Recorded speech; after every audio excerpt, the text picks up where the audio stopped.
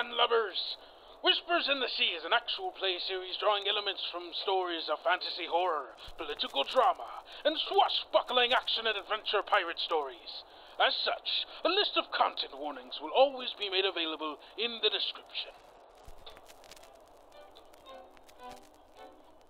For our first lesson, it seems only fit for us to discuss the core of pirate philosophy, in the most reasonably stretched definition of the word. You see, pirates are not unified in thought or action, acting primarily in self interest. Even the participation in working aboard the ships they sail tends to be a means to an end to pillage, to steal, to kill with not only impunity, but to be hailed for the act. Numbers are what they believe give them strength, keeps them safe.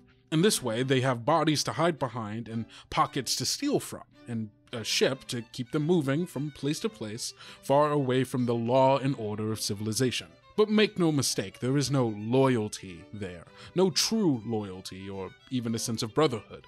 We see it in the way they abandon their countries and their families, and once firmly within the righteous grip of the law, they'll even abandon their fellow crewmates. As of this morning, 64% of Union Navy enlistment are conscripted pirates. Pirates who, when faced with the consequences of their barbaric actions, chose to instead enlist within the very military they claim pirates to despise. Are quick to turn coat, especially once things get truly dangerous. They're cowards, really afraid to commit to anywhere or anyone, yet they claim to be honorable. Why is that? Because they have a code of ethics, the Code of Black Arms. Written during the Age of Monsters, after the seas receded and the lands were once again returned to the fair people of Caladora, the Code of Black Arms are a set of laws, so to speak. More guidelines, really, used to justify the actions of a pirate when they find it most convenient. A self made scapegoat to absolve them of their sins. It is said that eight great lords of the sea came together to put an end to the conflict between their fleets, each of them giving a singular code to the list, giving each equal power to forge their legacies. It was written in secret so as to keep the identities of the writers a secret, in this way securing that all laws were followed equally between their fleets without bias for who wrote it. Now, if you flip to page 12 in your textbooks, you will find a list of these codes, and please go there so you can follow along. Rule 1 Pirates shall not idly bear witness to the sinking of a fellow pirate by a mutual enemy. Rule 2 Pirates shall honor the right of finders keepers. Rule 3 Pirates must be true to their word. An oath once given, never broken. Rule 4 Pirates shall honor the right of parley and must do so upon neutral ground. Rule 5 Pirates shall not kill a person who has surrendered to them, and if a ship has no room or want of captives, then they are to be marooned at the earliest convenience. Rule 6. Pirates have a right to an equal share of all treasure found by their ship and crew. Rule 7. Pirates must respect Our Lady the Sea, for there is no force greater. And anyone guilty of blasphemy against Our Lady shall see their sins tripled and returned unto them. Rule 8. Pirates shall not kill a member of their own crew, and when disputes are had, they must be settled with fisticuffs and moderated by the ship's first mate, if available, or another neutral party. Rule 9. Pirates must stand together against our mutual enemies, and if any law given were to contradict this law or the first, then it is to be cast away. Those are the laws. Eight lords, nine laws the first of many contradictions. In this, we find the roots of a consistent theme within pirates and their culture a lack of continuity. There is purposefully little precision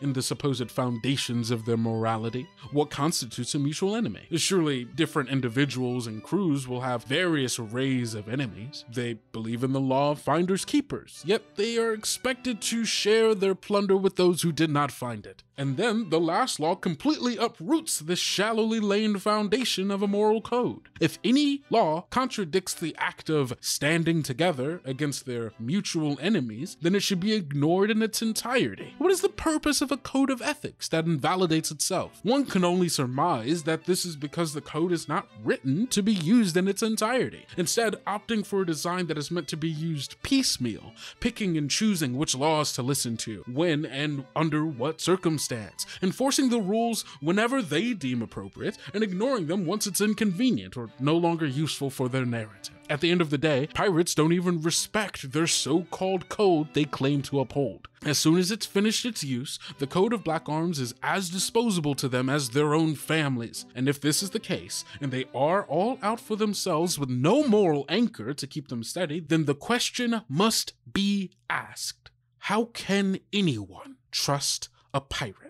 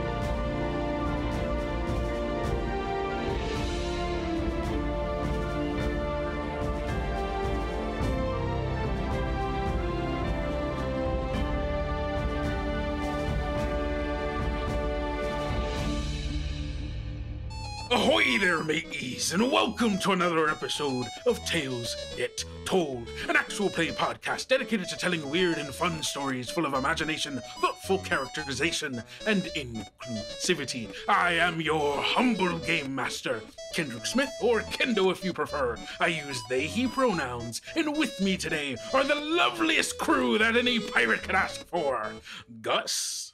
Kendo, I'm, I'm I'm gonna throw in the little um uh, what is it uh, the sailor's hornpipe at the beginning of this. It's just gonna go. Yes, I'm gonna do that anyway. Hi, I mean sorry. Ahoy, uh, scurvy bilge rats. I'm Gus. I use he/him pronouns. Today I will be playing Felix Cormier, who uh, is going to be using he/they pronouns and is a little, just a little creep. Just a little creep is what he is. Ah, this ship is filled with little creeps. Speaking of which, the next little creep, Hilda. Excuse me? I'm sorry, I, t- I needed a segue. I'm sorry. And I got that one? You're my favorite little creep, if that makes you feel better. I'm I'm the little creep. I'm Hilda. I'm still here. I use she her pronouns, but I'll be playing Avery Morrigan, who uses he him pronouns and is not a little creep, but is a little bit antisocial perhaps. Of course, we have many antisocial little not creeps here on this ship. Speaking of which, the next one is Marcy. I be Marceline. I use she, her pronouns, and I will be playing Bryn Theroux, who uses she, her pronouns. Not a little creep, not antisocial, but maybe a little ephemeral. Ah, yes, the ship do be a little ephemeral, doesn't it? Speaking of which, one of those ephemeral traits is our newest cast member, Ellis. Hmm. Ellis gets ephemeral and I get little creep. Hey, look, okay? I'm I filing didn't a choose complaint. what Gus said. Okay, Also, it's Ellis's turn. I'm already causing division in the group. The term ephemeral does not bode well for someone just starting the podcast, by the way. Oh no! Oh, that's so I'm Ellis Morgan. I use they them pronouns. I'm going to be playing Thorin uh, and Eldoris. Thorin uses he him pronouns. Eldoris is a raven and she uses she her pronouns. And with our crew together, I guess it's time for me to drop this voice and tell you that we are playing Rapscallion Ashcan Edition by Whistler. It's the pirate game. Hello. We've said it. I've said it so many times at this point, but you should know that this is our our pirate arc because that means, uh, and if you know that already, that means you follow us on social media at Tales Yet Told on Twitter and Instagram, or you listen to the session zero that came out two weeks ago. And if you haven't, well, maybe you should go listen to it just because it's good. We're kind of funny, and you are going to learn so much context about who these characters are and what they do. Because will we be going over that right this second? No, we will not. That's time. Also, uh, follow the social media. There's some good stuff on there. Yeah, you should follow us on social media at Twitter and Instagram at Tales Yet Told. I'll say it again. Yeah, if you follow on Twitter, there's special character background information, character art, Spotify soundtrack for each character, so you would do well to to hook on that. You should also join the Discord where you could talk to us and be our friends. That's right. Ooh, Oh my maybe not then. gosh. Be our friends, please. Please be my We're friend. so lonely. Please Yeah. be Yeah, be friends with Hilda. Oh no! you know, No one else is. No one Hey. else will be. They all hate me. Please be my friend. yep, That's a lie. we all love Hilda here. Uh, you can find the link to our Discord on our Twitter page if you go to the link in our Twitter page. That'd be great. As we ring in this new season, you also should ring the notification bell on our Twitter at twitter.com slash tales yet told. I'm really excited for this season. Uh, I'm really excited for this game. I'm really excited for this crew and all the stories that we are about to tell. Let's just very briefly go over everybody's playbooks that they're using, uh, what your stats are, and what ranks you have with the people around you. Let's start off in reverse order. Thorin, would you like to tell us your playbook and uh, who you have rank with? All right, we've got the playbook, the Mantelo. My skills are blood plus one, uh, vinegar minus one, polish plus one, and spitfire zero. I believe I've got one rank with Bryn, one rank with Avery, and one rank with the ship. Awesome. I'm playing Bryn Theroux, and I'll be playing the Navigator. I have a minus one in blood, a one in vinegar, a minus one in polish, a two in Spitfire, and I have two rank with our ship and one with Felix. Amazing. Lord Avery Morrigan. Of course, I will be playing the Chronicler. I'm playing Avery Morrigan as stated uh, with he, him pronouns. I have a minus two to blood, a plus one to vinegar, a plus one to polish, and a plus one to spitfire. I also have rank with Bryn and with Thorin, and I assume also with Eldoris, but that is lumped into the one with Thorin. Eldoris is a bird, so hmm Eldoris is a bird, but she has personhood. For sure. She has thoughts and opinions on things. Exactly. She so, does. So I, I I definitely am trying to ingratiate myself to the bird as well. That is a good, wise thing to do. Yeah. Thank you. Okay, cool. And Gus. Yeah, my character. Also, first of all, is Avery a lord? No, he's a sir. He's a he's a noble. Okay. Sir would be knight. So actually, it might be young Lord Avery Morrigan. Mm, probably. Felix is uh, using the playbook The Mountebank. His stats are blood, zero. He's got no blood. Uh, vinegar, z- also zero. Polish, minus one. And Spitfire, plus two. Oh, and he has rank with Bryn and with um with uh with someone else with uh with Who's who's this someone else? well, just uh, just an ancient, uh, ancient smoke spirit. Um, You know, as you do, ancient smoke spirits just hanging around. sometimes you meet a ancient smoke spirit, and you know, you just you just shoot the shit, and you know, it's uh, found out you have a lot in common, and uh, and you know, things just kind of go from there. I'm making this even weirder than it actually is, so I'm going to shut up now.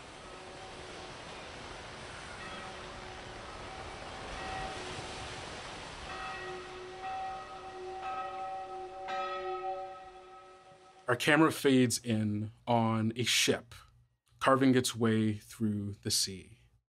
In the distance, in front of it, is an island, or a set of islands. And built along this set of islands with shallow canals separating them and finely crafted stone bridges connecting them all, Puerto Eliminado is a bustling trade port, primarily supporting trade routes from the Empire, Ziegenland and Buknan, the fort turned merchant inn, now named Paraiso Encontrado, stands stalwart beyond the sea gate before you. Tall buildings with white stucco walls, horseshoe arched windows, and red clay roofs cast long shadows in clear waters of the canal. Anchored ships bob calmly in their designated spots as the tides fluctuate with the passing ships, either bringing in fresh cargo and goods to be sold, or taking whatever it is they picked up here and transporting it to its next destination. The streets are abuzz with activity sailors loading and unloading ships, children running along the docks, identifying each and every flag flown, and bluecoats on every corner, with eyes like hawks and a deep, insatiable hunger for violence. As the camera follows our ship, the Bois Perdu, as it passes the sea gate into the entrance canal leading into the large building known as Paraiso Encontrado, the camera zooms in and it catches one of our faithful crew. Thorin, what are you doing on the ship as you all are approaching your destination? As we're approaching our destination, Thorn goes to talk to Bryn about our estimated arrival time so that Thorn can then relay to the crew are the sails ready to be put up? What needs to be done to get portside? That kind of thing. Uh, oh, I should also say, Thorn, what do you look like? Thorin is a 48 year old, on the smaller side in height, 5'3, but very stockily built man. He's weathered from his time as a soldier, working on many a different ship. He's got shoulder length hair, a beard, and the beautiful, luxurious Eldoris, who looks akin to a raven on his shoulder. So you approach Bryn to ask of what exactly needs to be done, how long you have to do it before you reach portside, and uh, Bryn, if you could describe yourself. Yeah, uh, Bryn is a woman, a little on the taller side, about 5'10 or 5'11, hovering about a foot or two above the ground uh, near the bow of the ship, looking out. Uh, Bryn's skin is very pale, almost grayish white. Her body is gaunt. She gives almost a glow. There is a, a slight uh, translucency to her form. Some of the most clear parts about her is her thick black hair tied back from her face with a braid that seems to flow back and open up down her back. And it goes from that thick black to an ethereal field of stars and in a bluish teal glow in which they float around in. Her eyes glow a bright emerald green, and that same emerald green alongside a, a brilliant purple fuchsia are markings along her torso and legs and arms that flow like rivers around her body. And that's Bryn. So, Thorin, you approach uh, Bryn to ask. Bryn, where are you right now? What are you doing? Bryn is um, surveying our approach uh, near the bow of the ship. Gotcha. So Thorin comes up. He's not trying to hide himself. He's not trying to spook you. So he comes up quietly but assuredly and he says, Bryn. Br- Bryn? Yes, Thorin. Sorry to disturb you. I know we're coming into the port now. How long do you suggest we have? I'd say we have about a few moments to prepare our sails. We should turn around and get ready, and be ready to be in port within the hour. Okay, I appreciate it. Is there anything I can do for you while we're getting ready? No, it's all been done. Just alert the crew and ready ourselves to prepare, and all will be well. Is there anything I can do for you, Thorin? No, love. No, love. You're fine. Uh, all right. I'll relay it back to the captain. Thank you. As you turn around to go find the captain, moving with purpose past all of your other crew, uh, all of your fellow crew members who are quickly moving and preparing themselves to support the raising of the sails and preparing the ship to uh, be docked, you pass by Felix. Felix, what do you look like, and what are you doing as the ship is preparing to dock? Felix is a young man, quite quite tall, quite pale. He is dressed in dark clothes. He's wearing a long uh, navy blue coat uh, with elegant trim. He's wearing a like a almost a almost a witch's hat, a a, a pointed uh, pointed hat. I think he's rarely seen without uh, without a mask. Not uh, not that he's trying to hide his face necessarily, but just that it's something he likes to wear. His his lips are uh, are dyed a uh, a light blue, and I think at the moment he is. I think he's I think he's uh, sitting somewhere. He is uh, he is not not necessarily assisting the the rest of the crew directly. He is um, sitting somewhere in uh, maybe a bit of a shadier spot. He is. Uh, I think he has his uh, his pipe kind of uh, uh, just just uh, dangling out of his mouth as he uh, you know he's he's he's playing the hurdy gurdy right now, and he, yeah he's playing it and kind of humming along, and hasn't really been been paying much attention, but uh, when he when he notices you know the the sort of hustle and bustle of the crew and starts to hear the the sound of the port. I think he's I think he stands and uh, s- says not really to anyone in particular. Ah, you all smell that, don't you? You all hear it, the smells and the sounds of civilization. Been all but seawater for now, but not for much longer. Ah. Thorin walks by you, raises an eyebrow, and keeps walking. I think, Felix, as you are saying this, thinking that you're saying it to no one, I think our camera kind of is viewing you from like a profile as Thorin is passing by. And as Thorin passes, it's revealed that a second person is standing here with you, unseen by everyone else here, and only heard by you. You can tell because the thick, powerful scent of tobacco and lavender is fresh in the air. You can hear the deep, almost unsettling voice that you have come to expect from your smoke spirit companion. You find yourself longing, I see, for civilization and people. Why? Do you not find comfort in those of your seafaring companions? I'm not born of the sea, my friend. I'm born of, uh, well, you know where you found me.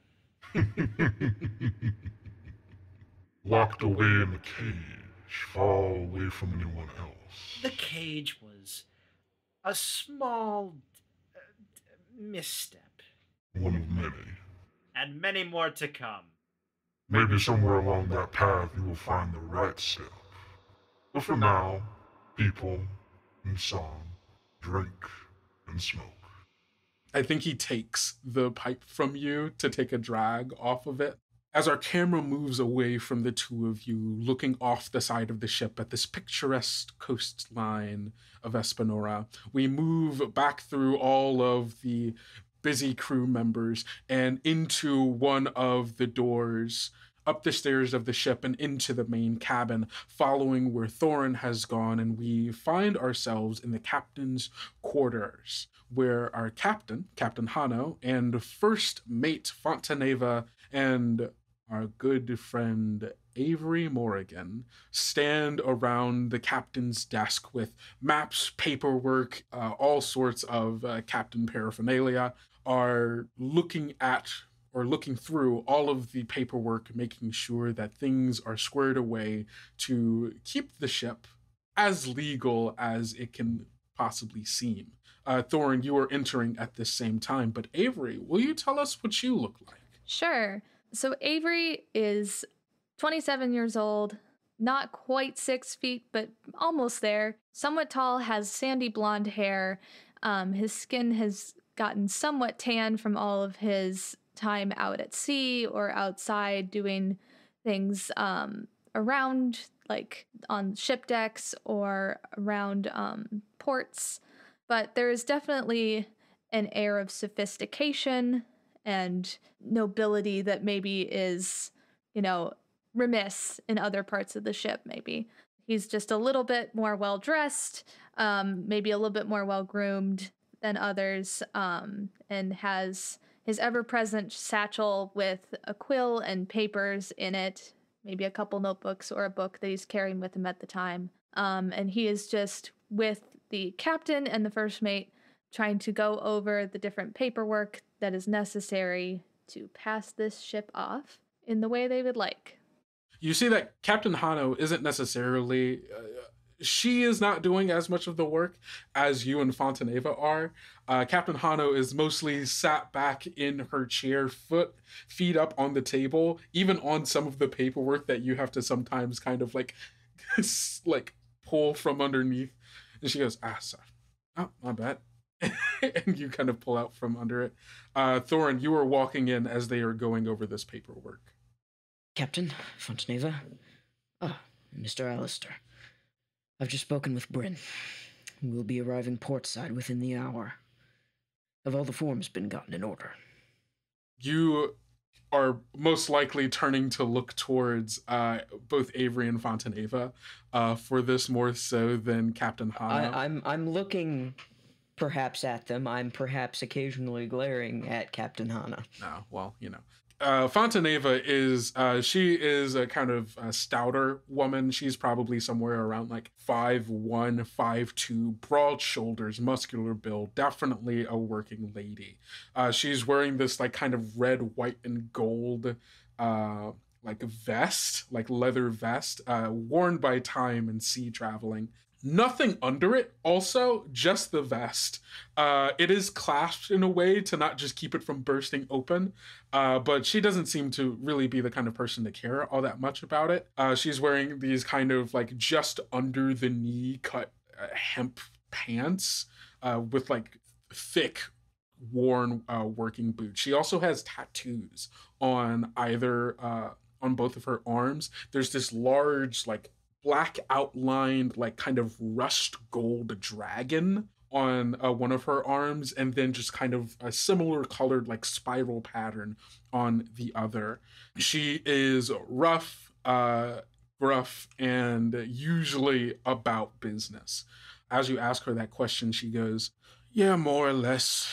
Everything should be ready by the time we get into port as long as the captain doesn't muddy up everything with her boots she says, kind of pointedly towards uh, Captain Hano, uh, who is this uh, much taller woman with black and green dyed hair, uh, a scar across one of her eyes, wearing this big old. Um, actually, she's probably not wearing her jacket. She's probably just in like kind of uh, her leisure wear, which is this uh, essentially like a leather like a sports bra as much as a sports bra could exist in this kind of world. And uh what amounts to like uh tight fitting like pants uh with like a green sash around it.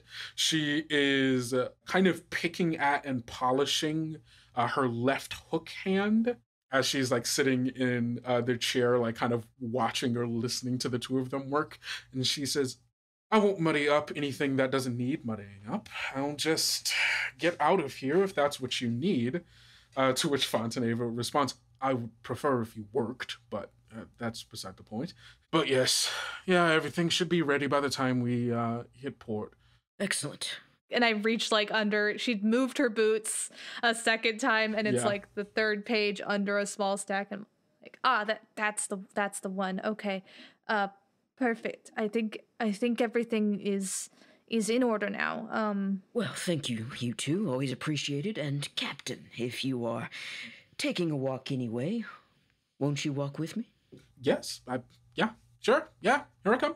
and we'll like uh, get up and like start walking out, and then we'll turn and says, Avery Fontaneva, you don't need anything, right?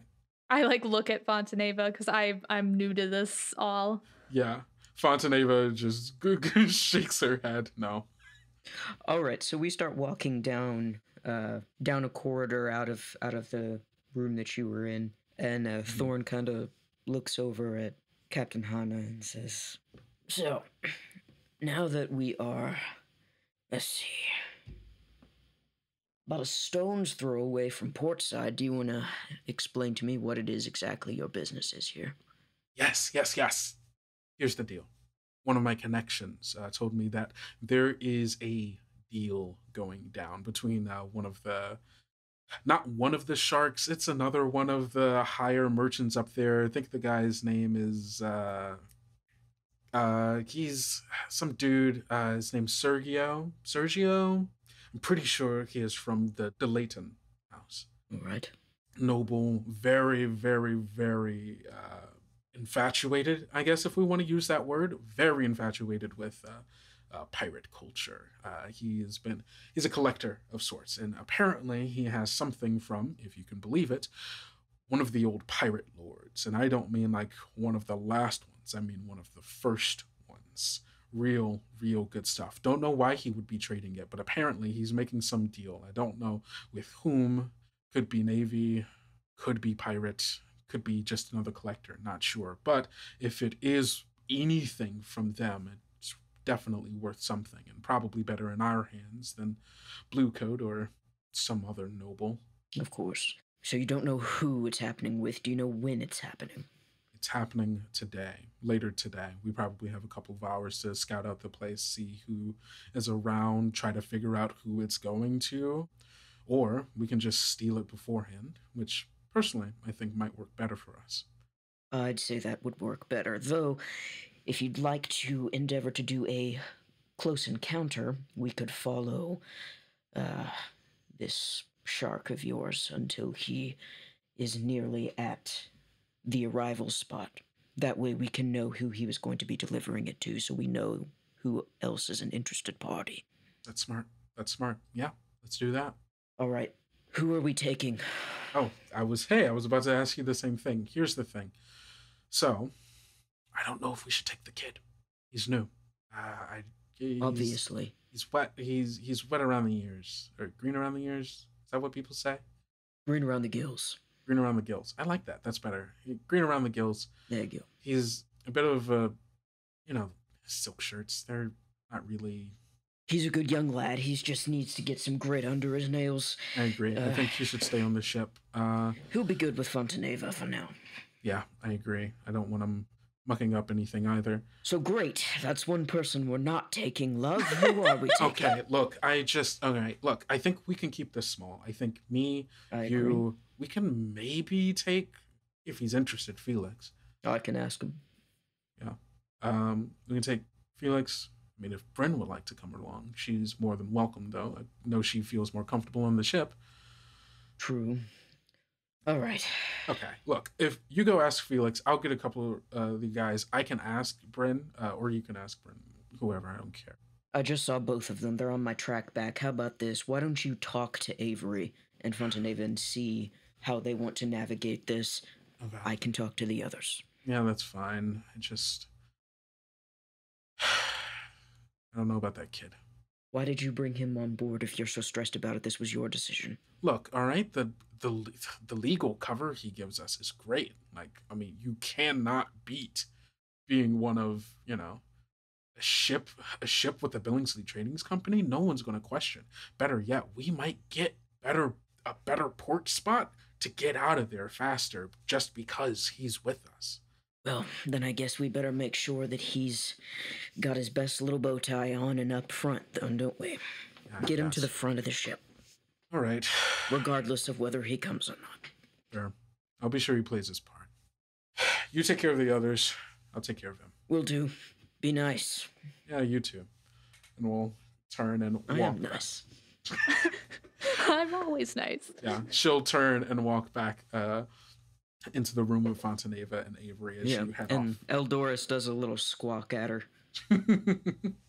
I think uh from one of her pockets she takes out like what is like fractionally more than dust of of like leftovers of bread and will like flick it over towards Eldoris. Eldoris will not bother. One of these days, one of these days, you're gonna like me. this is Bug we're talking about. Yeah, no, that's fair. Yeah, yeah. Uh, and she turns and walks away as you uh, head over to Bryn and uh, uh, in, in Felix's direction.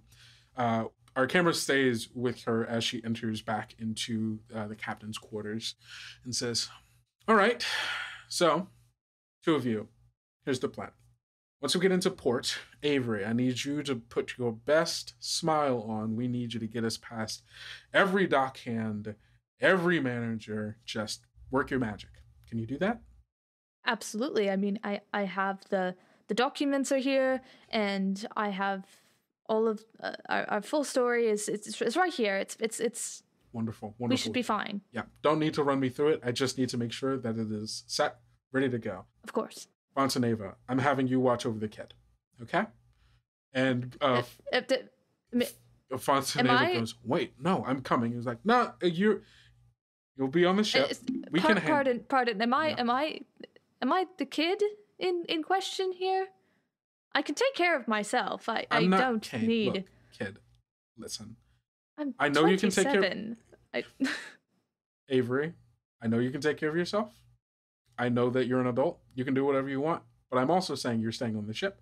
Fontaneva's watching over you to make sure that you don't get into any trouble. I know that you were. I never. Look, I just don't. This is your first time, all right? It is very different being on this end of a blue coat's gaze. It is very, very different. And I need you to understand that because they are going to push and prod you until you break, and I need to know that you're not going to break. All right. I'm I'm sorry. I I won't. Good. Fontaneva's going to make sure you won't. Just this once. Just to make sure. It's your first time. I want to make sure that you're calm, comfortable, collected, and won't fuck this up for us, all right? No pressure. Huh? No Oh, pressure. All right. Fontaneva, watch over him. And Fontaneva's like, wait, but I, fuck. And the captain just storms off. I, I just give Fontaneva a very apologetic look of like I had nothing to do with this. No, like this, no, no, this isn't your fault. She's just. All right. Don't make this hard for me. Let's just. uh I won't. I, yeah. is, is there something I sh- I should know about? Is is there history here with this port or? It's. It's history everywhere. I don't know how much the captain told you about anything that we do or anything like that. But the fact of the matter is, most of us here are wanted criminals. And the smallest, and I mean the smallest, mistake could mean any number of our lives. Not to mention, if fighting breaks out, they don't quite care who they shoot, as long as they kill us. Understood. We need to make sure that if all hell breaks loose, that you're on our side. Of course. Uh, under, understood. Shouldn't be a problem then. And we'll like give you like a, a little too hard of a slap on the back. Yeah. Okay. Uh, we cut back over to Thorin as you are approaching Felix and Bryn. All right. Uh, question for Felix, real quick. How long has Felix been on the ship? Have I worked with Felix a few times? Um, I think so. I don't think he- he, he's, Okay. he's he's still definitely newer uh, than Right. Than most of the crew, but um, but but but yeah, he's he's been there for We've had a few rider dies. yeah, Probably been around for a couple of months at this point. a couple months. Yeah. Okay. That being said, I'm gonna run into Felix first because that makes sense in the order from last time. Fair. So, are you still smoking your pipe over the railing, Felix? What else do I do? Of course. I Right. You hear a caw above you, and on the air you see Eldoris gliding, which can only mean that Thorin is not far behind, unless, of course, you have some treats in your pocket. She comes down and acts like she's going to perch herself on your smoking hand. Do you let her? Uh, Yes. Yeah, I think he does. This big bird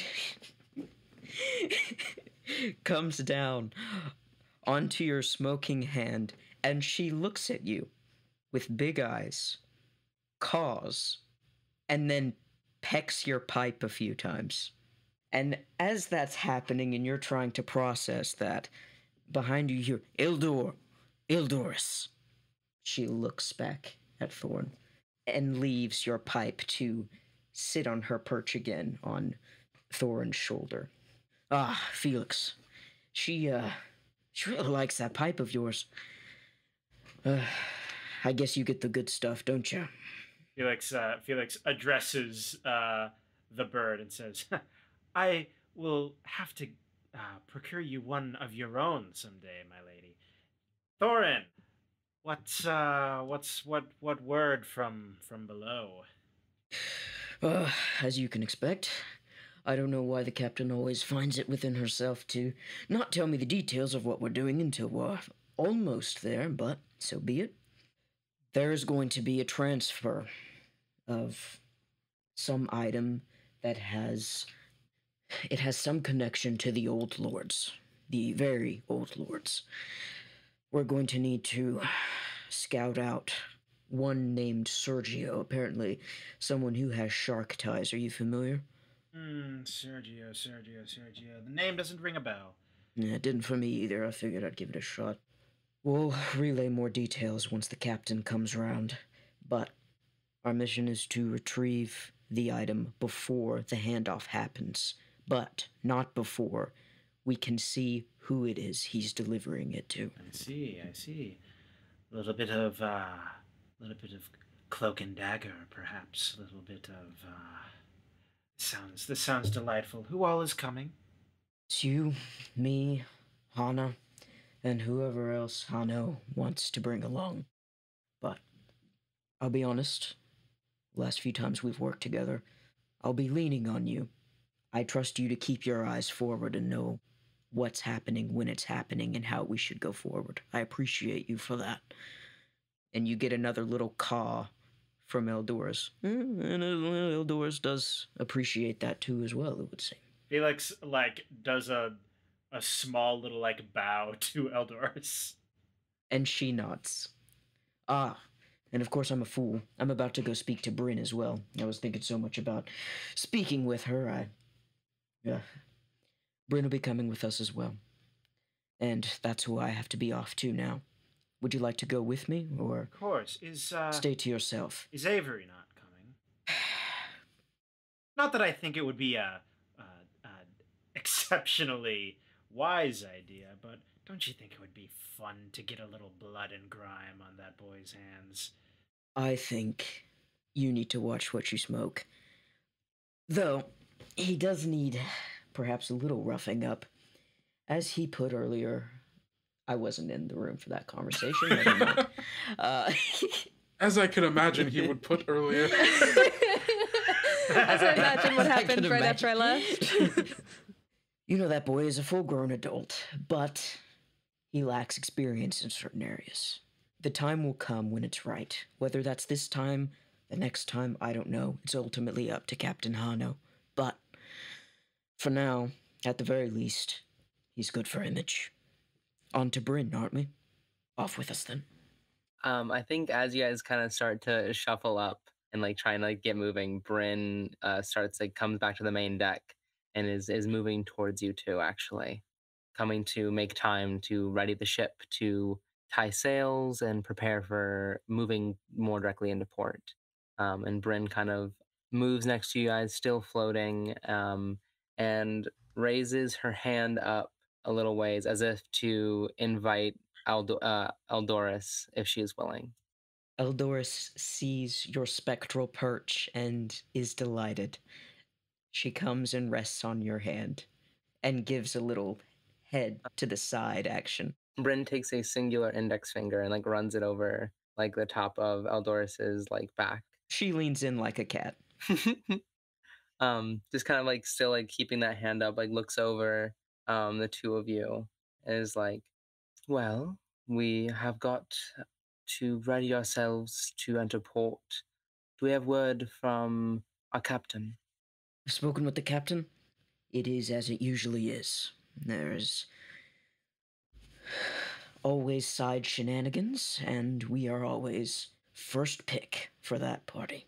So, and then relays, I imagine, the exact same thing that's been explained twice now. Um, what, I- what I would what I would imagine is Bryn smiles, um, and is like, "I do appreciate you sharing your thoughts and the plans with me, but don't ever forget, I have ears throughout this ship, and I hear many things."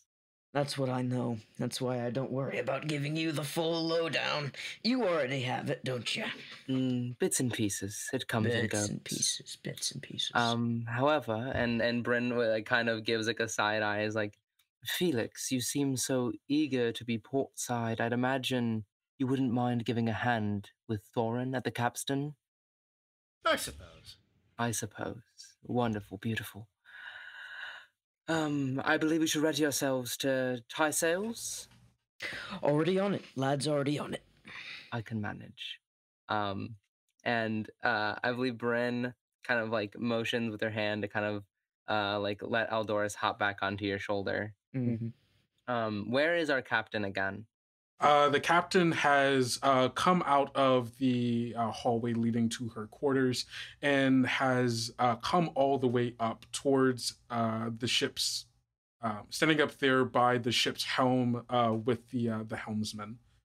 Bryn goes up the balustrade, up the stairs to the helm, and upon getting close to Captain, stops floating and plants her feet on the ground and and and walks to the captain. as, Captain, I'm able to tie the sails in a moment if need be. Are we ready?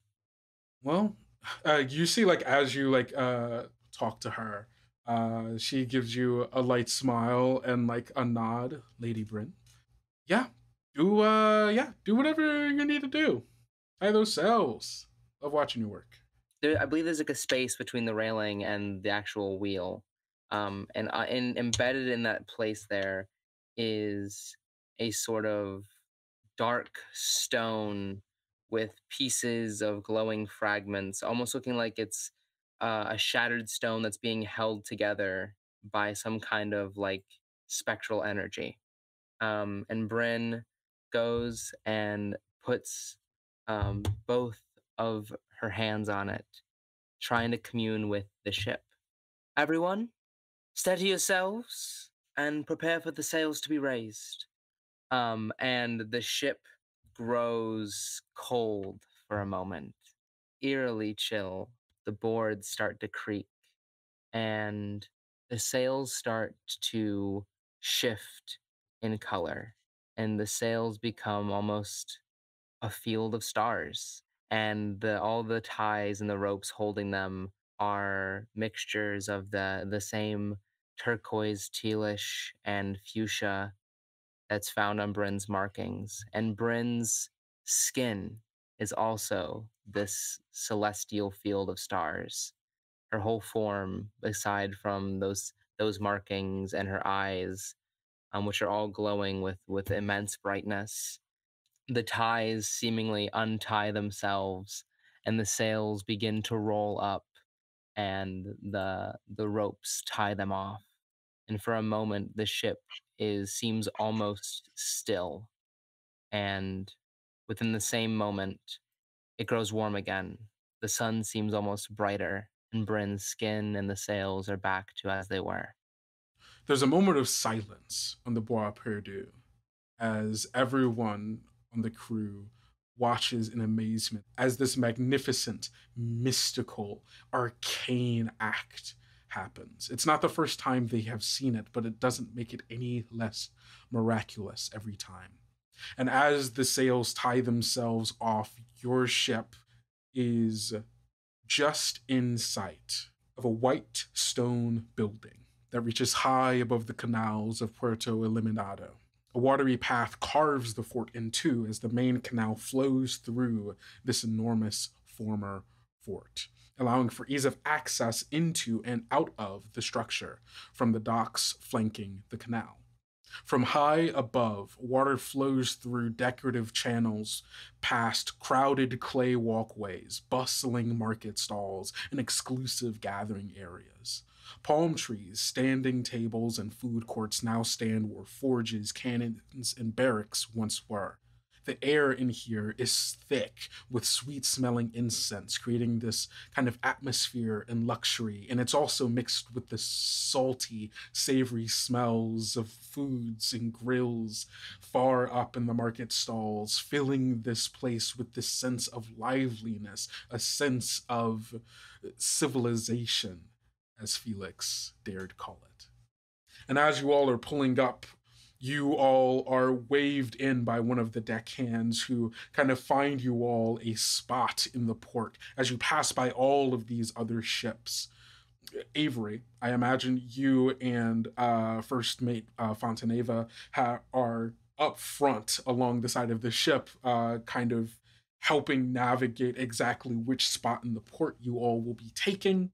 And uh, once you do find this spot, you lower anchor. Oh no no no! We can get we can get much closer. We can get much closer. That's that's no. Why would we Why would we park here? We should go much closer to the port.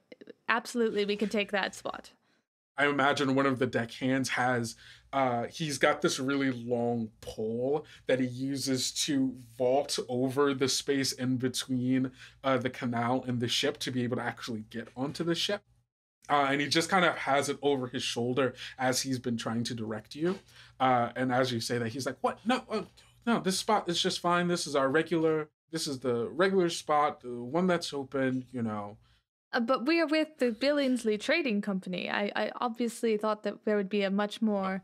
you say that and his eyes kind of open he says oh I, sorry i didn't realize and like looks over the paperwork that you've handed him again and goes oh uh, my my mistake uh please and will very loudly Oh no, no trouble whatsoever. I just I didn't want a mistake to happen. oh no of course no we most certainly wouldn't want to make a mistake with uh, uh one of the esteemed guests uh, such as yourselves uh, please, and we'll call out very loudly. Uh, they'll be taking the spot over there in the VIP section.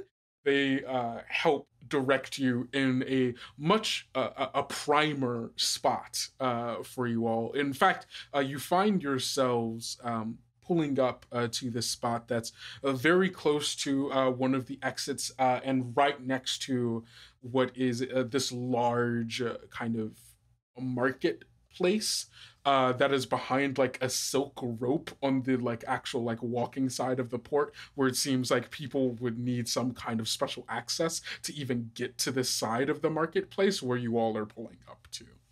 Uh, and that is where you lower anchor and uh, they have the boarding uh, you all like let out the the boarding walk. The gangplank? gangplank thank you. I'm sorry i i don't know a lot of boat terms I don't. I, I'm surprised that I know these many.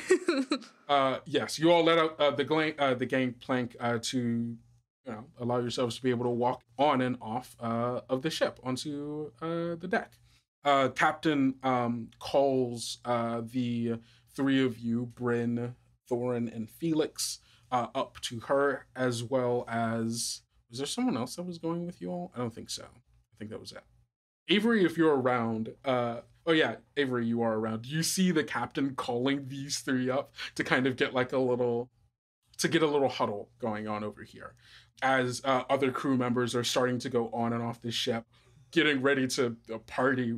As it seems, uh, this place is bustling with people, food, and things to do. Avery Um, looks over at the the the group gathered of like the the the inn members basically, and just kind of like sighs a little bit. Nothing that he's not used to though, um, and just Yeah.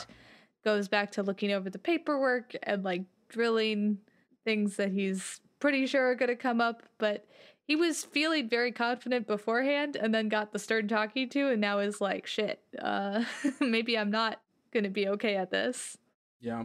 Uh, as you're going over the paperwork, you see Fontaneva, who's staying behind with you, is calling off to all the other people. Don't stray too far from the ship, you lot. I don't want any trouble out of any of you. If any of you end up in shackles, you're on your own. and you hear people calling back, ah, yeah, whatever, and, go, and going on. Uh, and then, yeah, cutting back over to uh, the little uh, in crowd huddle over here. The captain goes, Bryn, Felix, I imagine that Thorin uh, briefed you all on the whole deal. Oh yes. Always do. All right, cool. So we're all in. First order of business, we got to find this Sergio fella. Uh, I'm sure if we ask around, uh, folks like him, they like throwing money.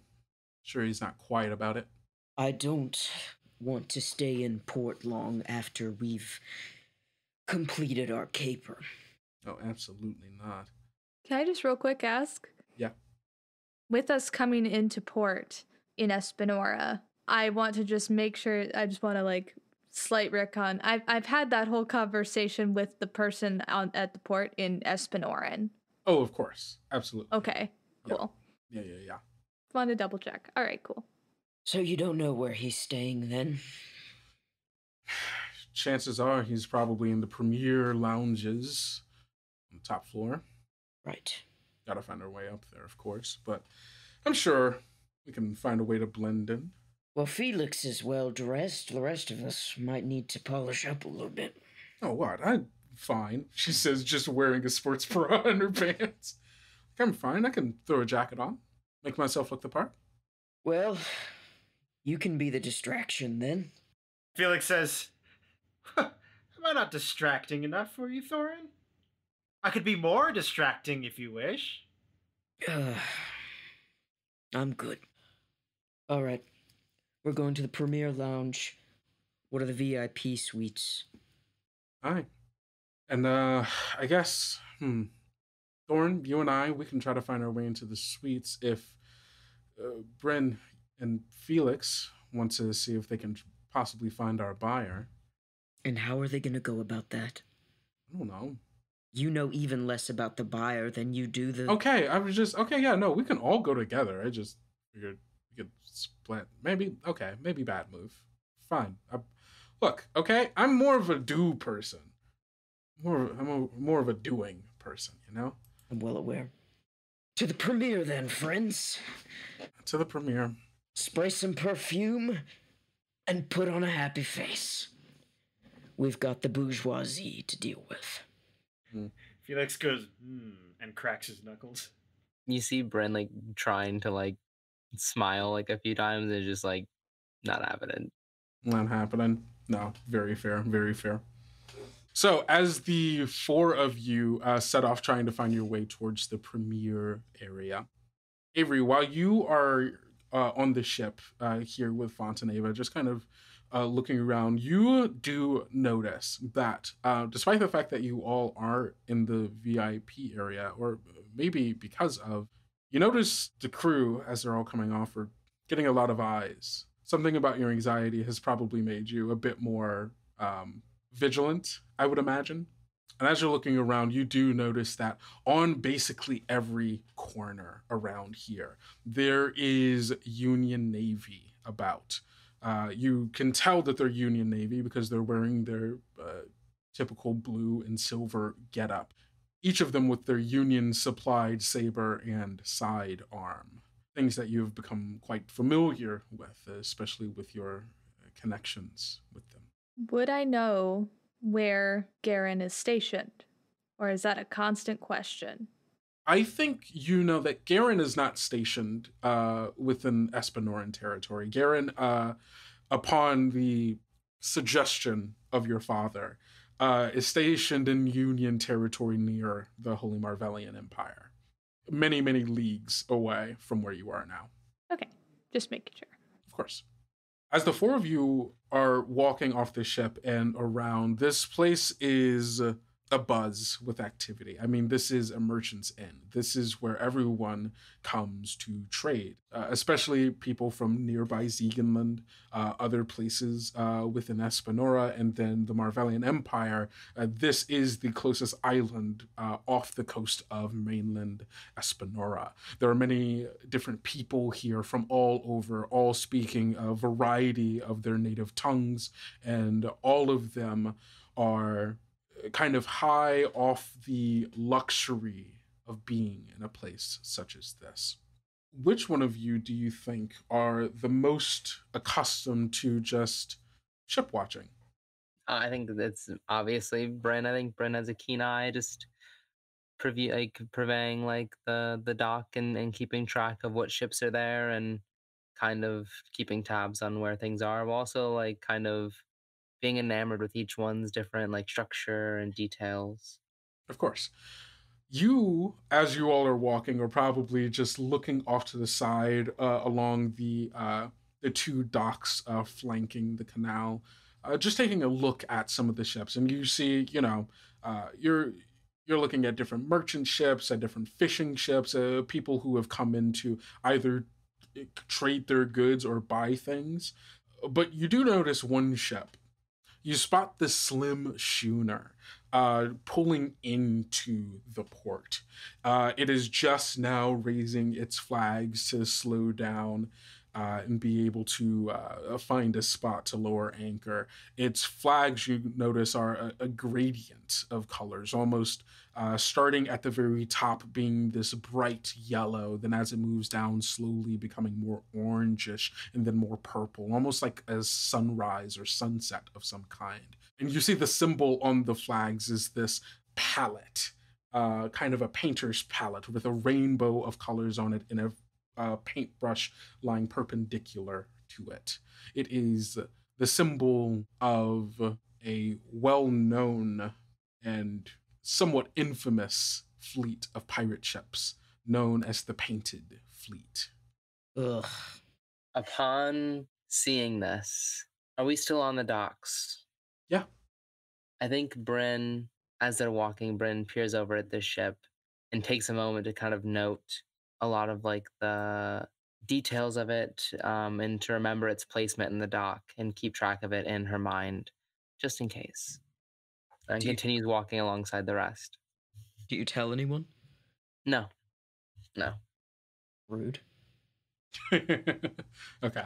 So yeah, you all continue walking, and as you make your way up the, as you make your way off of the docks onto the clay pathways of this large merchant's inn, taking the stairs upwards towards the top floor, you all find yourselves constantly assaulted with the sounds and smells of all of these different foods and people and merchants calling out trying to sell their goods. It is a cacophony of stimuli.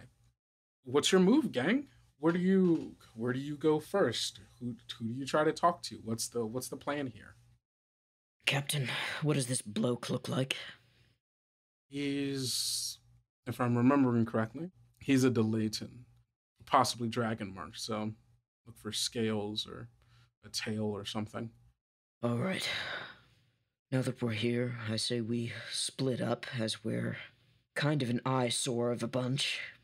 Go to opposing corners, look for people that have indications of being dragonborn. If you see something, come back to this spot, and periodically others be looking at this spot to see if anyone has come back. If you find no one within 10 minutes, return. Does anyone else want to add or detract anything from this plan?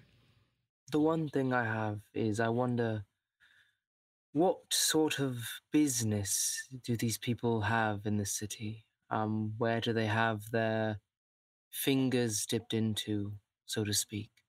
Captain? Well, Sergio, he's a merchant of sorts, I imagine. Probably has a shop around here. Most of the big ones do. Uh, I don't know if he makes his residence here on this specific island or, or not. Uh, it's hard to say. Could be one of the bathhouses. Could be, could be one of the grills. I don't know. I know he's a collector of sorts, so anywhere where we can find trinkets, uh, it's possible. Collector of what, may I ask? Artifacts, gold, jewels, there's many things to collect. Eldoris perks up at the sound of trinkets. he's a pirate collector. So, yeah. Well, we both have no interest in baubles or knickknacks. I imagine that we. I can search more spiritually inclined Mhm. and see if there information of any artifacts that may have been trafficked through this area. Of course. I will check the bathhouses. Rich Fat, plump folks like him love soaking themselves before they do business. That's rude. All right, I'm parting ways. Don't forget to meet back here in 10 minutes, whether you find anything or not. We do not want to be here longer than we need to be. Ten minutes, you say? Yes, Oh, that should be more than enough time. that's what I'm saying. Off. Let's go. Yes, you all, you all search the uh, dark corners of the city, and I, and he like uh, Felix like looks to the like bustling streets and says, "I'll be scanning a little bit of a larger crowd. With any luck, we'll see." All right. So the four of you break off, and we return back to Avery, sitting here with his books and papers out here on the deck of the ship. You see, uh, Fontaneva is uh, sitting on one of the barrels uh, of the ship, doing a little bit of uh, a wood carving. Uh, she has a dagger out and uh, is whittling it into who knows what. It's very early in its stages. You're here. You're watching ships pull in, pull out, people off of the ship, out in the little market square, like looking at all of the different uh, stalls and stuff, trying some of the food, having a good time. I like look over at Fontaneva and like the wood carving, and it's like it's quiet between like everybody on like whatever is going on on the ship is way in the background. It's just like very quiet here, bustling happening out on the whatever, and I just am like, what what what you carving? I haven't decided yet. I kind of figure out its shape about halfway through. I have a sibling that does wood carving. It's kind of what they've said as well. Really. To find the piece in the wood, Let its soul bear itself to you. something like that. I don't know if wood has soul or identity or anything like that, but On a ship like this, you don't think that? Hmm. on a ship like this, wood is wood. Might be special wood, might be magic wood. It's wood. You are entitled to your opinions. I I am. As are you. What do you think? Would have a soul? I'm not willing to rule it out. But I'd rather. I'd. I'd, I'd Fontaneva, I'd really rather. We just go get some food or something. Do we have to stay on the ship the whole time? The captain said you're not to leave the ship. You're not to leave the ship. What about the the direct vicinity of the ship? You could see me from the deck. I just I just would would love to try some of the. I just, you know. No, I, it's fine. It's fine. It's fine. I don't have to do anything. I will sit and look pretty, and do nothing. If you would like, it sounds like you're trying to parlay. Do tell. Parlay move. When you parlay with an interested party, offer something and roll plus polish. Plus polish, huh? Yeah. You have anything you want to offer? I just like, I just like. Could also be hoodwink. Could also be hoodwink if you're lying to her. I'm not lying to her. Avery's Yeah. bored, wants to do something. Uh, I think Avery just like takes out a little pouch coin. Okay. Yeah. so you pull out a little pouch I'm not like offering it to her, but I'm like, like I have, we could we could spend a little bit of money. Okay. Make the make the parlay with that. Okay, so I rolled the the two d six plus my, sorry, which one? polish. hmm All right, that is a seven. Okay. On a seven to nine, they want to see you uphold your end of the bargain first, or they change the terms. The fate decides. She, uh, as you kind of like, just kind of like, I'm imagining like tossing the the the pouch kind of lackadaisically, almost nonchalantly. She looks up and then back down to her wood and says, "You know, I could find myself distracted in this for quite a while. Something about wood carving is just so enthralling." Mm, yes, really, really digging into what the wood wants from you, as well as yeah, obviously. Uh, is there anything you you know theoretically would desire in the port as well? perhaps you're so distracted with that thought that, you know. Hmm. I I hear that they have really good kebabs here. Hmm. And I would go out and get one, but as you heard, the captain says I gotta stay on the ship. Woe is us. Woe is us. How enthralling this wood is. And I just, I- I'm having this conversation and I'm like standing up and walking toward the gangplank. It's, it's truly a shame. I, I, I, I Mhm. absolutely understand. Yeah, and she's just still and I'm like carving the walking wood. down still carving the wood. backwards. yeah, exactly. Yeah. Cool. So I, I, I get off of the ship, and I'm gonna take a look around at the stalls just immediately in the vicinity. see Yeah. some- You see, the yeah, it's and stuff. primarily a lot of like really, really good food. You see, there 100% is this place uh, that. Don't get Ken Uh, started on the food again, please. No, I'm gonna do it. Uh, you asked for this. Uh, it's happening. uh, so uh, you see that um, one of the big places here in this market stall is this like they have this huge rotisserie like meat uh, that is like uh, on uh, that is Are you uh, talking is- like the shaved meat where they like Yeah, bring yeah, yeah, yeah. thing- That's what I'm about to- yeah. there's this huge sack of meat that is collected uh, on this pipe and is being just slowly rotated by two of the workers here on either side over this huge flame pit. You can smell as uh, juices of it dripping, falling into the fire, sizzling, this salty, savory smell uh, emanating from it. There's like this huge crowd of people around it, all of them like calling out to the person at the front of the stall who is like taking orders as quickly as they can. They probably got like two or three people. Um, you see quite a few of the crew members uh, of your ship are also here. Uh, they don't see you though. They are too enthralled and like all of them trying to get an order in. Uh, there's also some other ones. Uh, you see uh, that there is this place uh, over to the side that's selling like kind of like roasted quail and like beds of uh, long grain rice um, with like herbs and spices uh, kind of topped along it. And like there's just like the smorgasbord of delicious Espanoran cuisine here. And yeah, that's the food in the immediate vicinity. Great.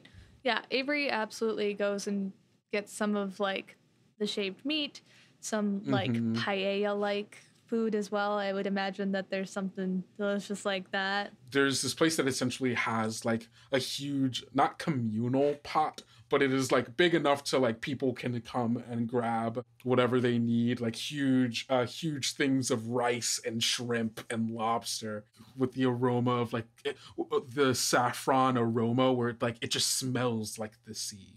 Mm, so good. Yeah, so Avery grabs some of that and is eating it as he looks around the market a little bit.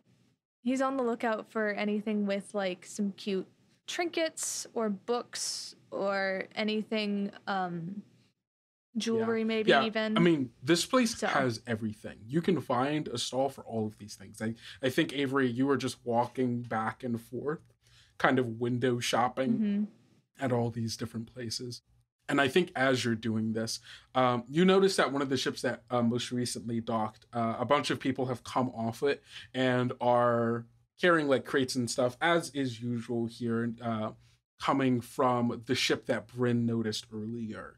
And these are a wild looking group of people. They kind of stand out. Each of them has their own particular kind of style of dress. None of them feel like they fit in any kind of cultural clothing that you've seen before. Like they don't necessarily look Belanusian. They don't necessarily look Marvellan or Espanoran or anything like that. It feels like it feels like all of these people got dressed in the dark. You see like just smash like colors smashed together. None of them go together.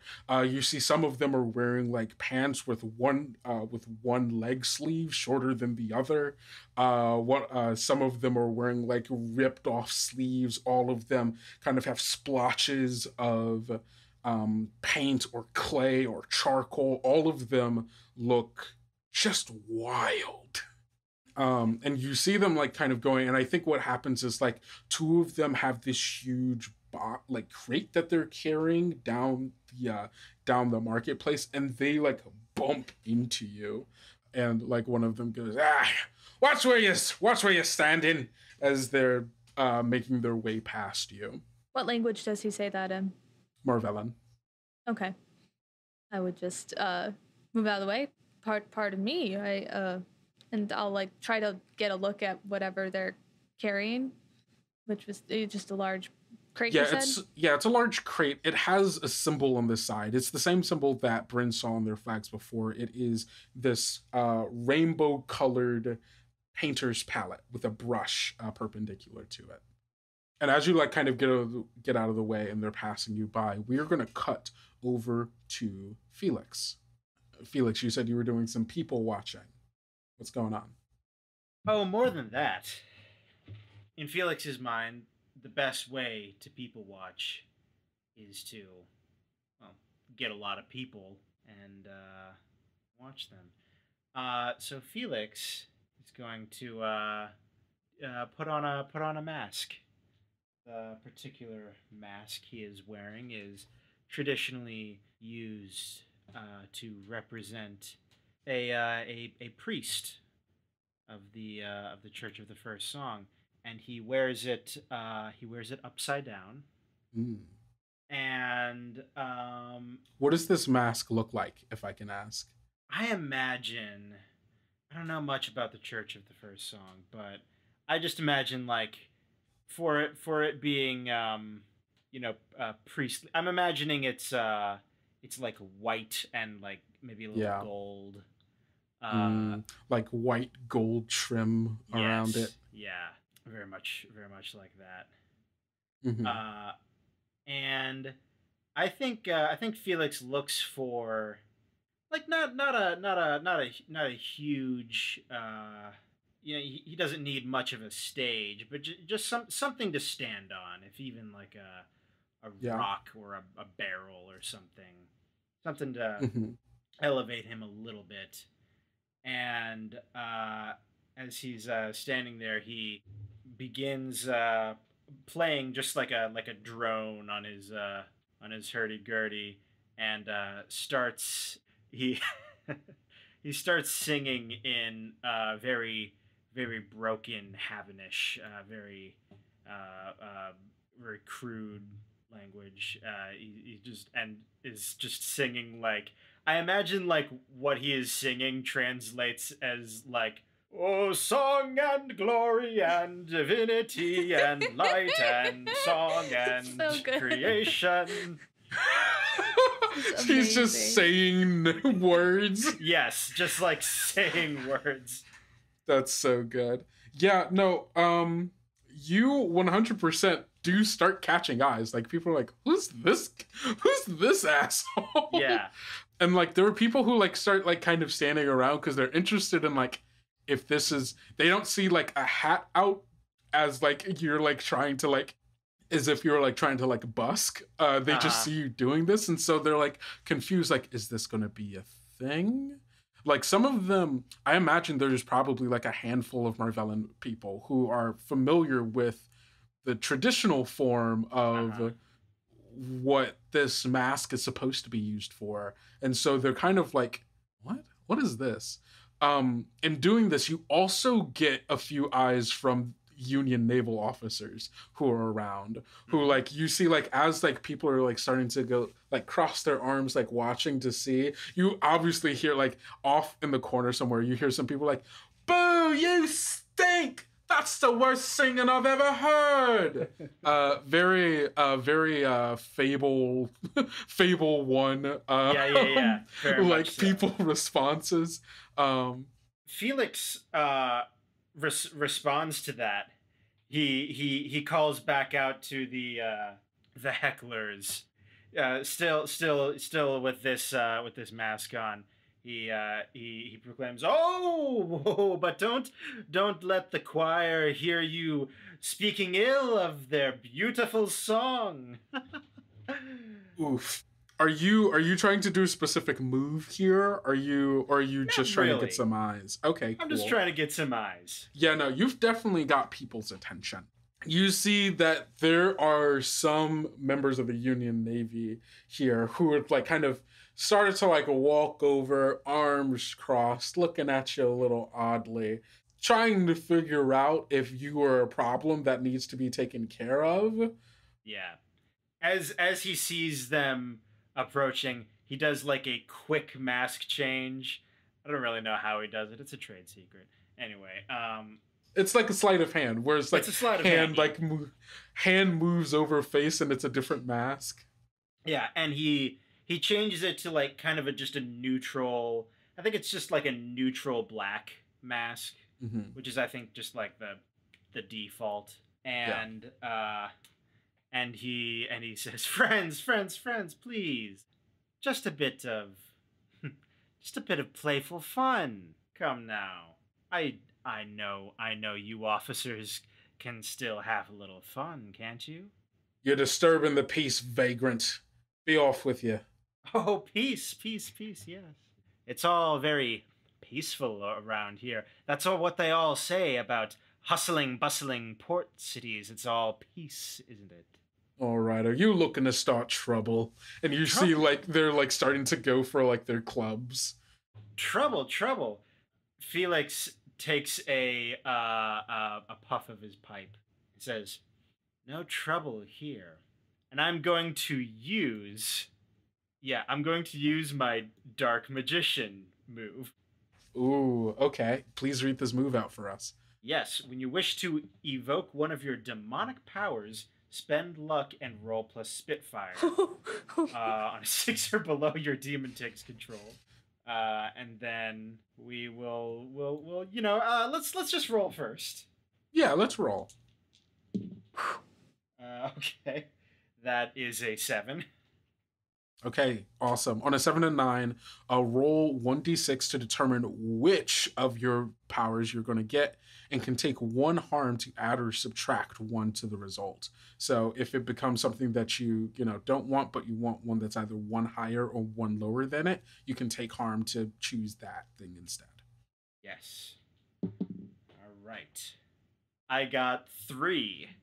Uh, for a scene, you may create a chittering flying shadow servant who does your bidding. Okay. Yeah, I think what happens is he um, exhales the smoke. You know what? The the smoke takes the form of like a like a giant centipede that is Oh. like that is like hovering through the air.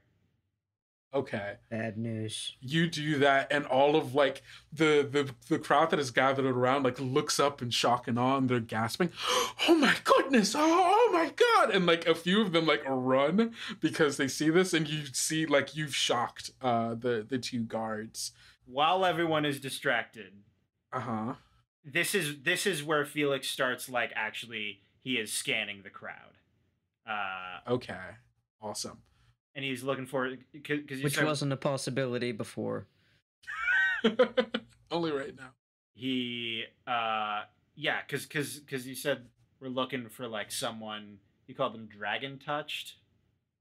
Uh, so dragon marked is a term used for certain members of Espanoran nobility, those of which who, within their bloodline, uh, harness the essence of dragon blood, uh, gifted to their houses centuries ago, and because of that, they manifest some draconic some draconic aspects. This may be scales, this may be specific eyes, this may be teeth or or tails and this will range from different people. Some only have some a- like small almost unnoticeable aspects while some people have very very noticeable aspects of them. Yeah. So I, th- I think felix is looking for that but also like also just like anything else that may be inter- just like anything he's looking for anything interesting. Of course. Uh, as you're doing that everybody's in uh, everybody's shocked. You've caught the blue coats off guard uh, and all of these other people off guard some people running some people not as you're scanning the crowd, trying to uh, see any sign of anyone who might be dragon marked, you do notice there is this figure, tall, probably about six feet, six two, kind of lean build, uh, walking past, and you notice uh, as they are passing by, as like someone's like running past them, you uh, get a quick look uh, in their uh, you get a quick look at their face and you see it's kind of gaunt and scaly. And they have blue reptilian eyes that kind of flash uh, in that kind of flash at you right before they turn around look away and continue moving uh, towards the stairs leading further up. And from that we're going to cut over to bryn. Yeah, so Bryn, I think when we parted ways, Bryn kind of dipped behind some stalls and took a moment to wrap their arms with like a thin cloth, like almost like bandage wraps, up all the way through um, her arms, and she kind of let down uh, the the sort of robes that like she was wearing, and the kind of was like a plumy, flowy, long uh, trousers. Um, and she closes her jacket or vest to cover her chest and throws a hood over her head with a veil that covers the top half of her face. And she returns back to the market, kind of keeps her head down as she walks through, looking for any stalls that may have connections to, you know, other sorts of spiritual spiritual believers or like other religions or like groups of people who like are you know, connected to these things. Yeah. As you are looking around, you do see that there is a particular shop here. Um, it is a small market stall, not a lot of people really kind of coming around it. You see that the person behind it is this uh, shorter woman uh, with like light brown curly hair. Um, she's wearing this kind of fine looking like silk gown with a, a pearl necklace and uh, like silver bangles uh, around her wrists. And she is sitting in a stool behind this stall. And you see at the stall is like what you would see as being kind of a hodgepodge of religious iconography and trinkets and what mostly amounts to be inauthentic baubles of like various Belanusian religions and and beliefs. There is like nothing cohesive. It like you're saying, like you know, wooden dolls and like uh ceremonial candles and like jewelry and like all of this other stuff with like the kind of stuff that people that you would have known growing up would have held in very high regard that is now a not actually that stuff and b like being sold here yeah being commodified here in a way that is completely disconnected from any original context. Um, I think Bryn stands there for a moment and is kind of a little saddened for a moment and thinks about how she misses the people and the the days spent and the rituals of being back home and how not having that like uh, routine of things has grown isolating. But Bryn reluctantly walks up um, and kind of still like looking at the ground and speaking to the person running the the stall. Oh, you also have an interest in people of Belanusha. Are you uh speaking to her in marvellin Uh, is she Marvellin? uh I would imagine. she- No, no, I would say Marvellin. Yes, I think Bryn speaks Yeah. Marvellin here. Yeah. You uh you hear that this person kind of speaks back to you in a broken Marvellin uh with a like an Espanoran accent. Ah, yes, yes, yes. Uh many good stuff. Lots of good stuff from there. Candles to to to to burn at night and say your prayers to the many uh many strange uh gods. Gods to protect you, of course. Uh, uh or or um doll. Uh we have a doll of a visage of a goddess put under if you put it under your pillow, you find yourself good dreams, no more nightmares. Oh, I could use something like that. Yes, yes, very cheap, very cheap. More, you, I take you for someone of high regard and you've cultivated such great artifacts of Belanusha. Do you have anything a bit more specialized? Specialized. Um, um, um, uh, uh, and she will like kind of go like in like the bottom part behind the stall and says, uh, uh, uh, ah, yes, yes, yes, something good for you, and we'll uh, take out a small little chest. Uh, it's this uh, simple wooden chest uh, with uh, iron uh, detailing on it. We'll take a key, unlock it, open it, and there is a locket in there. It is like a, a brass locket with fine detailing on it, and on the kind of image carved into the main core of this locket is uh, like a compass rose. This belonged to Captain, Belanutian Captain. Really? Yes. May I? And like, uh, like holds out a singular hand. Um, she will be very. She's like a little hesitant at first, and then we'll hand it off to you. As it enters my hand, is there anything that Bryn can feel or any sort of ties to actual Belanutian um, tradition that Bryn can kind of gain?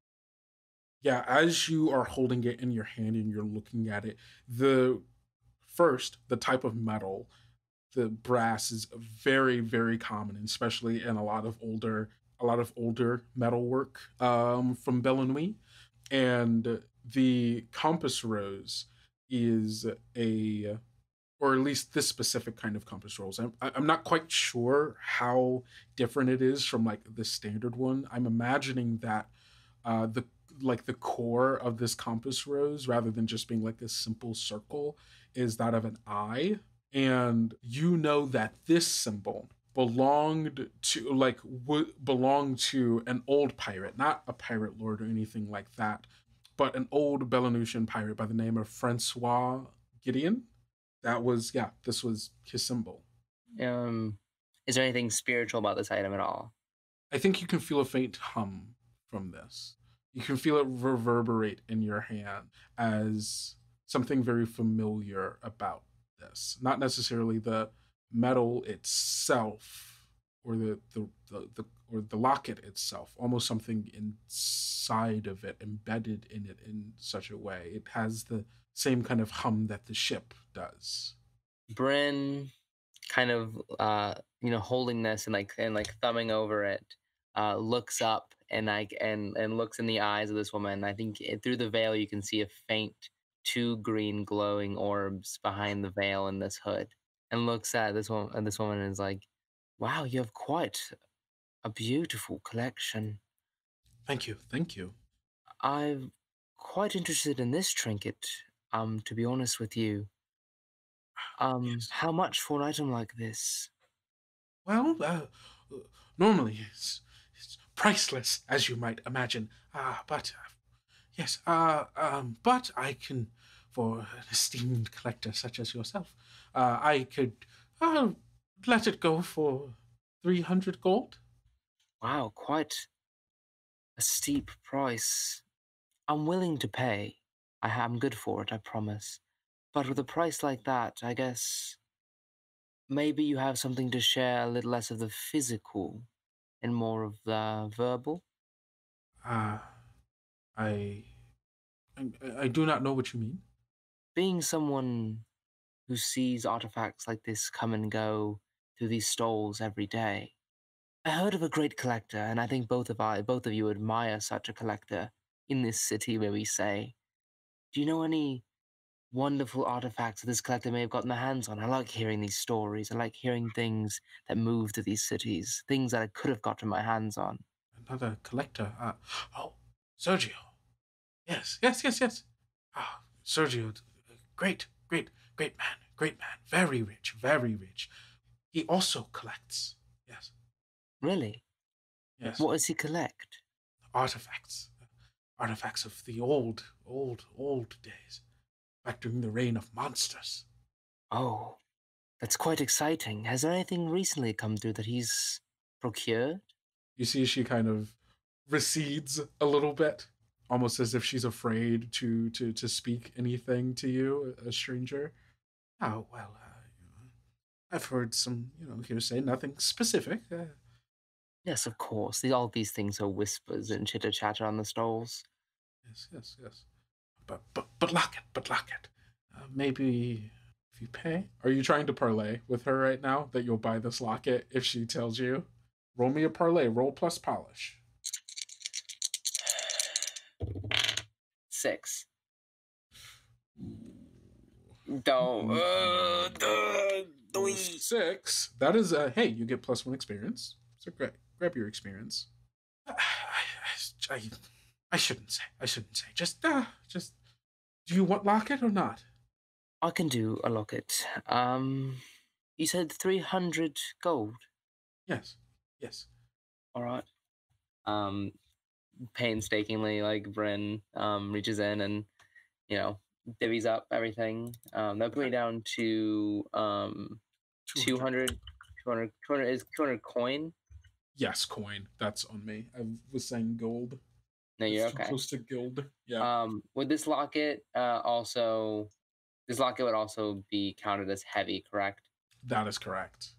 I'm trying to remember what exactly do I incur from having a heavy item.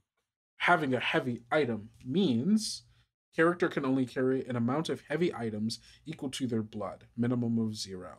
If they carry more than that, they must move very slowly and do nothing else. What is your blood? Negative one. Rip. Uh, characters can only carry an amount of heavy items equal to their blood, minimum of zero. If they carry more than that, they must move very slowly and do nothing else. I, like you can move slowly, but like you can't like do you can't Can I run? Okay. Yeah, yeah. I think like as like you know the transaction goes and and Bryn takes a moment to more thoroughly like sense the locket. You said when you say it hums, I imagine this has a sort of connection to the same the same connection that the ship has to the skies. Yes, it hums with the reverberation of meteorite dust. Bryn holds it in one hand and like like and kind of like gently um like unravels like one of um her wrists to reveal the like the markings as well. Mhm. um, and like extends her hand to the market, like the woman in the market, and is like, "May I?" Like reaching out a hand. she hesitantly gives it to you. No, no, like no, like like her hand. Oh, hand. sorry. Oh yeah, yeah, yeah, like her hand. Yeah, she hesitantly gives her hand to you. Bryn takes a moment and closes her eyes and like thumbs over the locket, and like it's the same with like over the top of her hand. Um, and Bryn tries to gather any sort of voices that call out from this space and through this this um this relic about this woman and about her life and about her well-being You get hmm, roll plus Spitfire for me. cool that is a 10 Okay. On a 10, as she touches the top of this locket held out by your hand, you get this image of her at home sitting with her children. They're young, uh, probably somewhere between like three to five. Uh, they're playing with some of the like trinkets that she has here, like as relics. They're playing with them like they're toys because that's what they are uh, you can see like she has this young daughter who's like playing with uh, this doll and the uh, her young son also like playing with another doll they're like together playing house as if they are like uh, as if like the two dolls are you know a- a family of some kind and uh, she is like sitting in the corner of this room like knitting watching her kids uh, play with these toys. And you can see that there is this look on her face of desperation uh where like she's looking at these kids and she wants them to be happy. She likes seeing that they are happy in this moment that they are playing with these toys but there is this inner kind of torment of how do i keep this moment how do i keep them in this state how do i make sure that they are still happy how do I make sure that I can still provide for them? The place that they're in isn't fancy, it's simple. It is small home, not un, unappointed. There is uh, decorations here or there. You imagine uh, the most of the stuff around uh, their clothes even are, are hand knitted by her, but they aren't well off. Far from it. Uh, after like this vision, uh, Bryn looks up at her, and I know this feeling.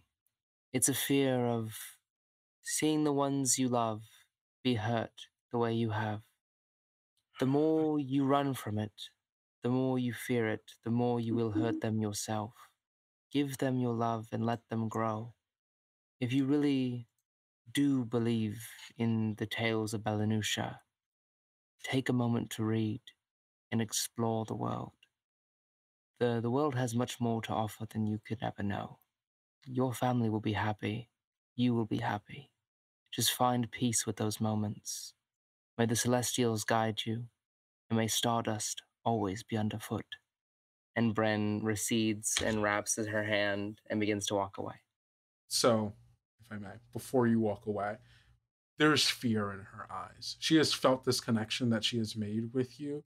There is this moment that there is this horror, this she cannot tell if you have taken something from her. She has felt this weird, this strange connection with you. And before you can properly gather your stuff and walk away, she sprints away, yelling, bringing a great amount of tension in your direction. We're going to cut from there to Thorin. Right. well, Thorin walks away from the group, and before making it just a few steps, starts to hear singing. There has been a time or two in the past where this would have perhaps caused some concern with the ruckus, but Thorin has worked with Felix enough to know that this is just a part of things. I don't think I don't think Thorin should necessarily not be concerned about this, but it, yeah, no, that's that's Mm-hmm. fair. Centermost, uh, very ambient on it. Very, well, there it is. That's my cue to get to the corner. And that is what he does. We see Thorin go over to kind of a shady corner, and he is gazing the surrounding areas. He takes Eldoris, perches her on his finger. He says, Ildur, to the sky, dragon marked, as a means to tell her to search from the skies to see if she can see anyone that has anything resembling a dragon mark or of the like. And while she is doing that, he is also kind of taken the perimeter to kind of shuffle about quietly as Felix has Yeah. Uh you yeah, you like kind of walk away from where uh Felix is like doing his singing and like the crowd is like starting to grow at that. And you are taking the perimeter looking around. Uh you've sent Eldoris off uh to the sky to uh look around as well. Um and I think like as you're like probably standing by one of the railings overlooking the lower markets and the docks, uh this is when you notice uh you see Avery walking down uh with like a plate of plate a, a plate of paella uh kind of like munching off of it as he is looking uh like kind of window shopping through uh through the streets. And you see him get bumped by one of this uh group of people that you probably noticed have walked off of uh, this ship very gaudily uh, uh, and uh, ostentatiously dressed, carrying these crates and like bumping into him. As you notice that, you see that there are a couple of like groups of these people like carrying like these these marked crates, um, but not to the same place. You see that they're kind of spreading out, even going to uh, several like different like parts of of the of the markets here. Ah, scheiße. Upon seeing this, Thorin has to take it in for a second of, of which shit show to kind of follow up with. Uh, you you look over towards the direction you saw the captain walk in, uh, walking, and you see her enter a bathhouse. Ah, Scheißen. Well, so be it. then. Thorin has decided to. Avery is an adult. He has made his decisions. Frankly, not my problem. And then Thorin is familiar with the Painted Fleet. Thorin has engaged with them in the past and knows them to be up to shenanigans they ought not be. So, seeing this and seeing the captain kind of seem out of reach, Thorin whistles for Eldoris to return. hmm And does she? Oh yeah, she does. And upon that, you know, kind of perches her back, makes eye contact with her, has her eyes follow one of the groups that are petering off. So Eldoris is going to, from the sky, covertly follow one of these groups. I am going to follow the other. We will then meet back at the designated time. She's very smart. She understands these things. So you're just following one of the groups of crate carriers. Yeah, Neldoris is following the other. And if she sees anything, shiny trinket, To re-clarify, there the there aren't just two. There are like six of these groups of people. But you can 100% you can have Eldoris follow one and you follow the other. It is not all of them though. I'm just clarifying this. Okay, yeah, I didn't know that. If there's that many, Yeah, it's like six groups of people carrying crates to different portions of Yeah. tragic.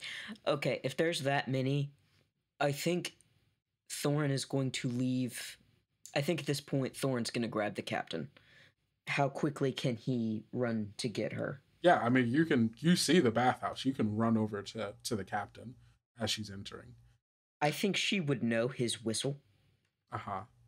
So Thorin kind of gives a very low whistle in the hopes that, you know, she'll kind of turn her head as she's walking into the bathhouse. You see uh, you know, she's like about to step in when you whistle and like Eldoris comes swooping down to you and she turns to look in your direction. Anu, come here. I was gonna go in the Now. you said 10 minutes and you see she comes like stomping over to you past where felix is like has started like getting to the point where like the guards have come over and like crossed arms are watching him And we pay them no mind. yeah no i'm just i'm i'm creating a timeline here No, I know, it's great. Uh, I love it. Come with me to the railing. What you can't see anymore, but what I did just see, was an young Avery Allister stomping about what i told that and chomping on food. That is the least of our worries. That is merely a palate cleanser for the ship. Quiet. I am explaining things. okay fine please continue what The painted fleet is here. what why what those fuckers Where did you get your information from? How did you know about Sergio? I it was I I know a guy. I know a lot of guys, but this specific guy, he works for uh the the nurse shark. I don't remember his name. You know, No. works for I one of the. He works for one of the sharks. Why? Why is that important? How many people could have gotten this information? They're bringing on crates. Look at them. There's several different groups. No, maybe they have stuff to sell. You think they're the buyers, I don't know. or do you think they're trying to steal it as well? Either way, it's a problem. Go team. You wouldn't know anything about that. Crates? No. Well, maybe it's not. And as she starts saying that, that's when you hear a scream from down from down below as you see this short running woman like running through, um, running through uh, the str- the streets away from something, uh, which you see like has some guards like kind of beginning to gather around like that area and then you also simultaneously hear the the shocked surprise of the people not terribly far away from you as a smoke centipede rises from the open mouth of Felix Cormier. Uh, These kids. I'm gonna send you all home. Uh, Bryn, what are you doing in uh, in response to the woman running away from you and guards starting to like turn their eyes in your direction and starting to walk towards you? The guard's taking notice. You see one of them is starting to walk towards you and says, "Hey, what's going on over here, then?" Um, I'm not quite sure. She was a disturbed woman. Um, she kept mumbling on about spirits and some sort of demon. She seemed quite disturbed. This seems like a lie, a hoodwink, even. Roll plus polish. I'm also you're gonna uh you're gonna take a weakness for this. Uh take take socially challenged. Until uh until you have uh fixed this weakness, you have minus one on going to polish. Uh, the way that you fix this weakness is by having a social success. And so you see the guards kind of look back and forth uh, at each other and then go, "All right, come with us. We're, it's, it's just for question, you know. We'll we'll get you. We'll get her. We'll you know we'll settle this thing squared away." Uh, Thorin, you and the captain are watching these two guards uh, attempting to apprehend Bryn. I think Avery, you can also see this happening. Can Thorin still see Avery? Yeah, yeah, you can see Avery uh, from up here as well. Avery just has like half a bite of like paella in his mouth and is holding two kebabs that he's going to bring back to Pontaneva. And is just kind of staring. You hear a whistle. Do you look up at it? Yeah. Where it came from? Absolutely. I'm watching this happen. Totally. And yeah. You see Thorin looking at you and does the number where he's staring dead in your eyes, points, and snaps, pointing back down to the ground. Here. Now. I, I like I, and I like motion at my neck and I'm and I like gesture back at the ship like I'm not supposed to be here. I'm on the ship. Thorin is walking towards you while still pointing now. Here. You see the captain look over uh Thorin's shoulder and points at you and like does literally the same thing. Is Fontaneva like still looking up? Because I I imagine that I'm still within like. She's on the ship. Well, I imagine that I haven't she's wandered. she's on the ship. She's not okay, looking. At, Never mind then. yeah, she's not looking at you. She's on the ship. You're yeah. I yeah okay. I, I like kind of hang my head and just like walk over. Yeah, you do that. Uh Bryn, uh these two guards are uh one of them uh like just tries to go for your shoulder to to bring you along with them. Felix. Uh the smoke centipede is uh writhing in the air like kind of crawling on translucent ground uh like up and around where everything is. You see people are like watching it in awe. You have also heard this scream from down there and you can see uh thorin eldoris and uh captain hano like uh not terribly far off like a good like 30 40 feet away from you looking over the railing down at wherever that sound came from. Uh, and you can see that these guards uh, up here are like starting to recover and are like they look pissed off Okay. I think Felix, you know, saw a potential person of interest in the crowd, but also heard this scream and perhaps is more interested in that. the lizard-eyed person is walking away up the stairs as this is happening Yeah, I think Felix is more interested in the scream. Felix uh calls like the the centipede like back to him and uh as it as it approaches him he says uh he he says to the crowd this has been uh Lunyalata uh my time unfortunately is up but hopefully I will see you all again very soon. And he uh snaps his fingers and the uh smoke centipede like explodes into like a, a like a larger cloud of smoke. And Mhm, mhm. Amidst the uh explosion he uh ducks into the crowd awesome it certainly does sound like you're trying to break in or out so this is an interesting uh one isn't it Oh, 100%, 100%. Uh, because uh, your smoke spirit, Damien, does have control over this. And so, you know, When you roll this, they'll decide what happens. Okay. Uh, roll plus blood. Roll plus blood. Okay. Oof. Oh, that's a snake eyes. Okay. Okay. Yeah, that's a so that's a that's a two. That's a two. I got a two. Okay. Yeah. Amazing. Well, you get uh, plus one experience, so that's good. That's a great That's start great. off here. That's great. Yeah. Ooh. Okay. I'm going to give you the weakness bedeviled. You uh, will now be compelled when your demon feels or desires something, you feel or desire the same. And the way to get rid of this weakness is a hard won moment of humanity.